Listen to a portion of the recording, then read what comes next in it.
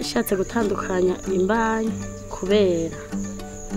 Nyine urumva abana baca bagira amagara meza nawe ukaca usanga nawe uri umubyeyi wabo ukagira amagara meza. Icyo ni cyo nashimye. Arabyiyumvira neza cyane kubera nawe nyine acabona yuko tugize amagara meza umuryango wiwe.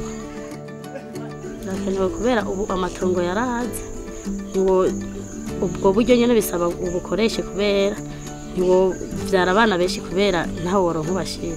Amatungo yarahaze bisaba ubyara abana ushoboye kuzoronderera ndiko ndaraba hano ku mutumbi wacu navuga ko bavyakiye kuko nk'abadamu bari ku buryo ubu ni benshi n'abagabo baba baratoye uburyo bagiye kwitungisha burundu ni benshi.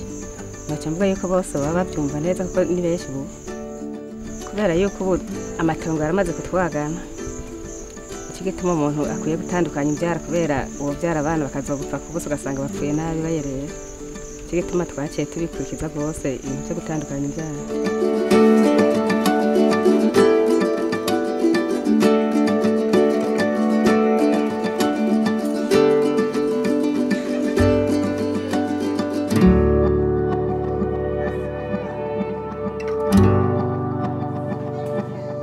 Nous prenons la planification familiale comme l'un des indicateurs de développement économique. C'est pourquoi la PF est une priorité pour le Burundi.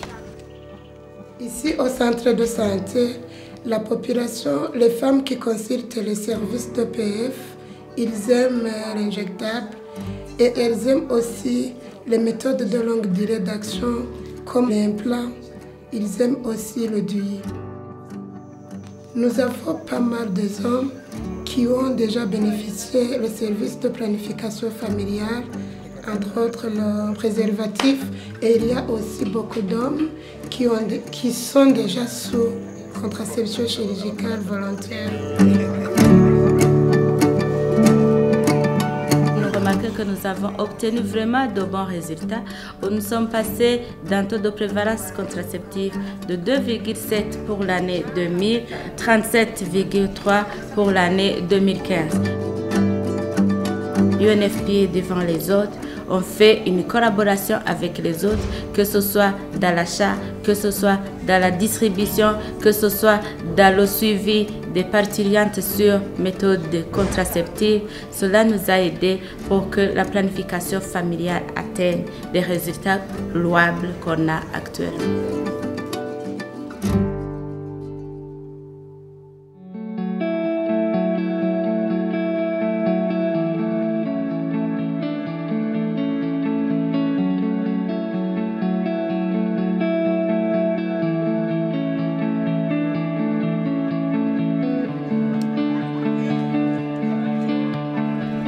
Umutima urumva nawe we urumva iyo umuntu abyutse agasanga ibintu byose byagiye urumva mu mutima usanga atanezerewe usanga yiziriwe kandi usanga afite ibyiyumviro byinshi bitandukanye akavuga ati nonezeho mbaho gute bigenda gute komvise abana n'ibiki n'ibiki ugasanga uri mu bintu byinshi bikumena umutwe utaronka n'aho wobisira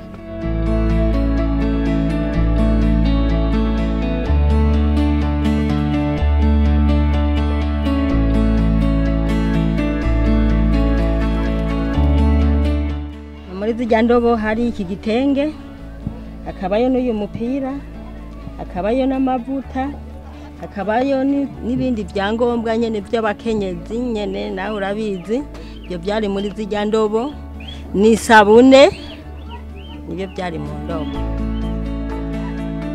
Twarasimye urumva ntako twobivuga ngene twasimye kuko twari dukenye nta na kimwe twari dufite twari tubuze agahuzu twambara twari tubuze utuvuta twari tubuze n'utundi twangombwa urumva twarasimye hamwe ho gusima kugera. Ibinezero twari dufise byari ibinezero ntangere yego.